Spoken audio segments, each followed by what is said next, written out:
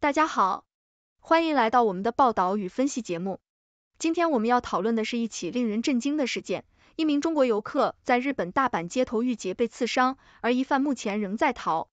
事情发生在七月二十二日凌晨，当时五十三岁的苏伟豪和他四十多岁的妻子在大阪市此花区四冠岛步行回酒店时遭遇了这场劫难。危急关头，苏伟豪和妻子迅速逃入附近的便利店。但苏伟豪仍不幸被刺伤，左手臂和左手背受创。究竟是什么让这座城市的夜晚变得如此危险？疑犯何时会被捉拿归案？请大家继续收看详细内容。七月二十二日的凌晨，夜色笼罩着大阪市此花区四冠岛的街头，宁静的气息充斥在空气中，仿佛一切都如常。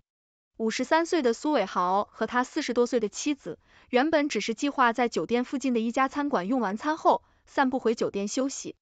然而，就在他们毫无戒备的享受着夜晚的清新时，一场突如其来的劫案打破了这片宁静。根据每日新闻的报道，一名持刀男子突然从阴影中现身，快速接近这对夫妇，嘴里不停的喊着 “money”。这陌生的男子显然是意图抢劫，眼神中透露出一丝疯狂。苏伟豪心下一惊，立刻意识到事态的严重性。他用身体挡在妻子前面，试图保护她免受伤害。眼看形势急转直下，夫妻俩立即决定逃入附近的一家便利店，以寻求庇护。然而，在这紧张逃跑的过程中，苏伟豪不幸被刀刺伤。那一刻，时间仿佛被无限拉长，他感觉到锋利的刀刃划过左手臂和左手背，剧痛随之而来。尽管如此，他依然不敢停下脚步，一心只想着保护妻子，迅速冲进了便利店内。而他的妻子则幸运的没有受到身体上的伤害，但此刻的惊慌和恐惧却深深印在他的脸上。便利店内的员工和顾客们被这一突如其来的变故吓得不知所措，店员连忙拨打了报警电话，同时给予苏伟豪简单的急救处理。苏伟豪的伤口不断涌出的鲜血，让在场的每一个人都心生不安。警方迅速赶到现场，并将受伤的苏伟豪紧急送往医院接受治疗。据医生表示，虽然他的伤口较深，但所幸未伤及要害，经过紧急处理，他的情况稳定下来。然而，这场劫案带来的心理创伤却是难以在短时间内愈合的。大阪警方随即展开了调查，并通过便利店的监控视频得到了犯罪嫌疑人的模糊影像。这名男子身穿深色衣物，面部被黑色口罩遮掩，只能隐约看出他大约三十多岁的模样。尽管警方在事发后立即在周边进行搜捕，但犯罪嫌疑人却如同人间蒸发一般，未留下任何痕迹。读卖新闻的记者在事后采访了苏伟豪，他回忆起当时的情景，仍旧心有余悸。那一瞬间，我真的以为自己可能无法再见到家人了。他抚摸着手上的绷带说道，但我知道，如果我不保护他，我们可能都没命了。他的妻子在一旁默默点头，眼中噙满了泪水。我们来日本是为了度假。没想到却遇到这种事情，这起事件在社交媒体上迅速传播开来，引发了广泛的关注和讨论。许多网友纷纷在推特和微信上表达了对苏伟豪夫妇的同情和慰问，并对大阪的治安状况表示担忧。大阪市民也开始呼吁加强街头巡逻和安全保障措施，以防止类似事件再次发生。日本产经新闻在报道中提到，近年来，随着大阪成为热门旅游目的地，游客人数激增，与此同时，犯罪率也呈上升趋势。这起劫案不仅反映了治安问题的严峻性，也警示着游客们在享受旅行的同时，必须时刻保持警惕，保护自身安全。另一位在大阪生活多年的华人居民王女士向星岛日报表示：“我们平时都会互相提醒，尤其是在夜晚外出时要格外小心。这次的事件再次敲响了警钟。原本以为在大城市里会更安全。”但事实证明并非如此。警方表示，已加大了夜间巡逻力度，同时呼吁市民和游客在夜间尽量避免独自外出，尤其是前往人烟稀少的地方。如果遇到突发情况，要尽快寻找安全的避难场所并报警。警方还敦促目击者提供任何可能的线索，以帮助尽快抓捕犯罪嫌疑人。尽管如此，这起事件已经在来大阪旅游的游客心中种下了一颗不安的种子。许多人开始重新规划自己的行程，避免夜间外出或选择更为安全的住宿地点。旅行社也开始加强对游客的安全提示，并为他们提供更多的紧急应对措施。这次的劫案事件不仅震惊了大阪市民，也在国际社会引起了广泛关注。许多媒体纷纷报道此事，呼吁各国游客在旅行时务必提高警惕，确保自身安全。这次事件也成为了大阪警方的一个挑战，他们必须迅速采取行动，恢复公众对城市安全的信心。尽管事件已经过去，但苏伟豪夫妇的心灵创伤却需时日才能愈合。苏伟豪表示，他们还会继续他们的旅行，但会更加小心谨慎。对于这对经历了生死考验的夫妻来说，每一步都将更加珍惜。在大阪的街头，夜幕依旧降临，城市的心跳未曾停止。对于每一个游人和市民来说，安全与危险总是如影随形。希望通过这次事件，更多的人能够意识到，在享受旅行的同时，安全永远是最重要的。让我们共同期待。那名肆意挥刀的罪犯能早日被绳之以法，还城市一片安宁，还游客们一份安心。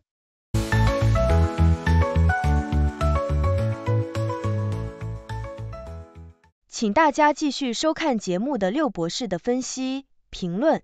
大家好，我是六度世界的六博士。本期节目带您聚焦一起发生在日本大阪的街头劫案，让我们一同探讨这一事件背后的细节和影响。首先，来了解一下事件的背景。七月二十二日凌晨，一名中国游客苏伟豪和他的妻子在大阪市的一个宁静夜晚中漫步，正值他们享受美好时光的当口，突然遭遇了持刀劫匪的袭击。劫匪不断的喊着 “money”，显然是企图通过暴力手段进行抢劫。苏伟豪夫妻面对突如其来的危险，立刻逃向附近的一家便利店，但在逃跑过程中，苏伟豪不幸被刺伤左手臂和左手背，而他的妻子则没有受伤。这起案件不仅让当事者陷入恐慌，也让许多准备前往日本旅游的游客心生疑虑。从这一起事件中，我们可以看出几个重要的要点。首先，犯罪发生的是在一个较为宁静的街区，这提醒我们，即使在看似安全的环境中，也不能掉以轻心。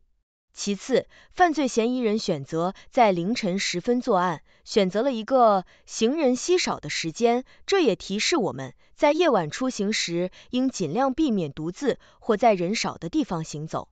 最后，苏伟豪夫妇的迅速反应，逃向便利店寻求庇护，这是一个关键的自救措施。当遇到突发情况时，迅速寻求安全场所和帮助是非常重要的。这起案件不仅是对个人安全的警示，也是对整个旅游行业的一个警钟。近年来，随着国际旅游的增长，游客在国外的安全问题也越来越受到关注。从这个案例中，我们可以看到，虽然日本一向以治安良好著称，但偶发的暴力事件仍然存在。因此，游客在出行前应提前了解目的地的安全信息，并采取必要的预防措施，例如避免携带大量现金，行走时注意周围环境，必要时可以携带防身工具。除了对个人和旅游行业的启示，这起事件也给当地警方和相关部门敲响了警钟。提高街头巡逻密度、更新监控设备，甚至通过社区合作增强治安意识，都应成为今后工作的重点。对于嫌疑人的抓捕工作，警方也需要加大力度，尽快将其绳之以法，给受害者和公众一个交代。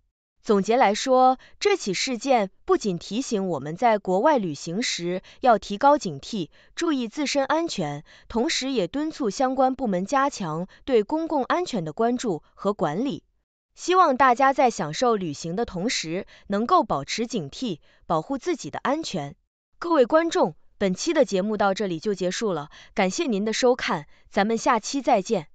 以上文字内容仅供参考，如有不准确之处，请以实际情况为准。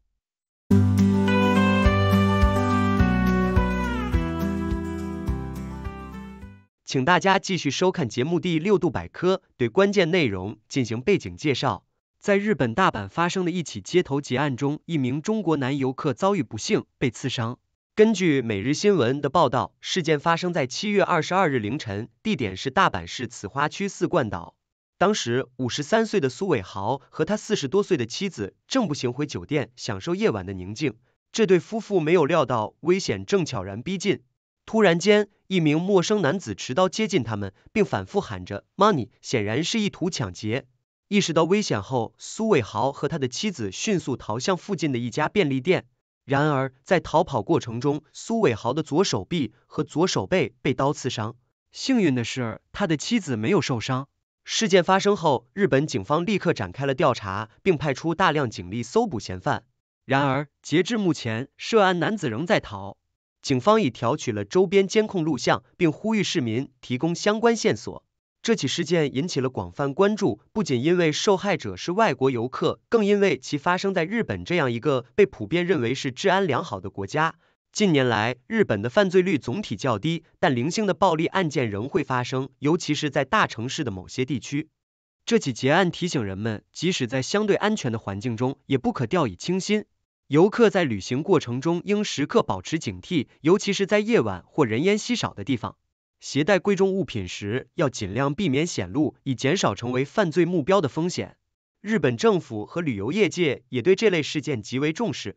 为了确保游客的安全，许多旅游景点和公共场所已经加强了安保措施。警方也经常在热门旅游区域进行巡逻，并提供多语言的紧急求助服务。总的来说，这起劫案虽然是一个孤立事件，但却提醒我们，安全无小事。无论身处何地，保持警惕和提高防范意识，都是保障自身安全的关键。希望苏伟豪尽快康复，同时也希望警方能够早日将嫌犯绳之以法，恢复这片地区的平静与安全。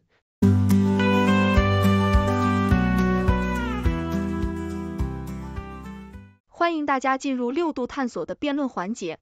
我们从正反两个角度对本节目进行辩论，请出我们的辩论高手楚天舒、谢琪琪。我是楚天舒，我是谢琪琪。这起事件再次证明了，在旅游时必须保持高度警惕。尽管日本以治安良好著称，但任何国家都有其安全漏洞。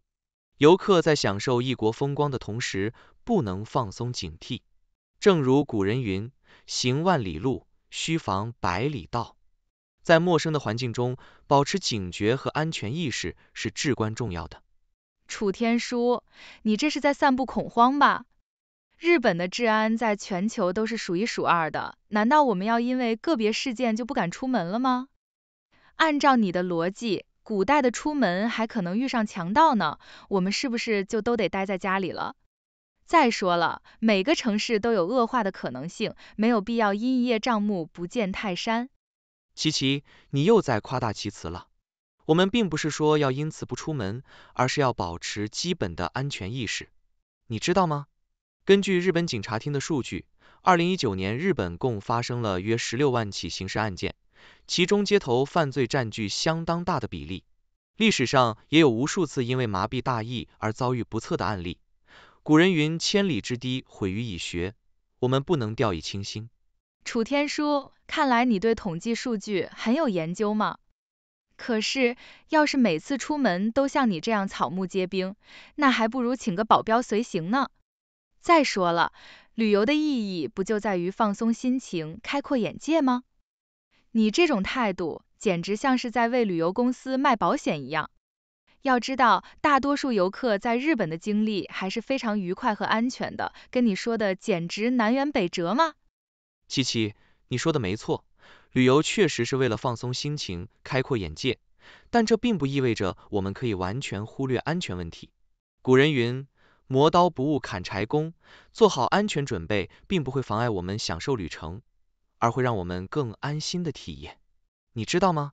在全球，每年有约三千万游客遭遇各种形式的犯罪。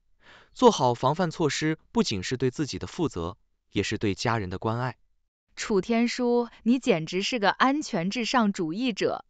虽然你的数据很有说服力，但这并不能改变旅游的本质。人们外出旅游是为了享受生活，体验不同的文化和风土人情。如果我们总是担心这个担心那个，那还不如待在家里看旅游节目呢。正所谓不入虎穴，焉得虎子。有时候适当放松警惕，才能真正体验到旅行的乐趣啊。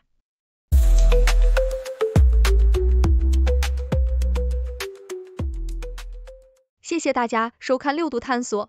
这是一个由科学家、经济学家、媒体人、工程技术人员合作建立的新型媒体，网友与六度 AI 参与合作完成各种内容，这些内容不能作为任何决策或法律的意见。这是一个新型的试验性媒体方式，我们希望得到大家的支持，修正错误。网友可以参与讨论，也可以向万能的六博士提出你能想出的任何问题。六度世界网址是六 do world，请介绍给你的亲朋好友。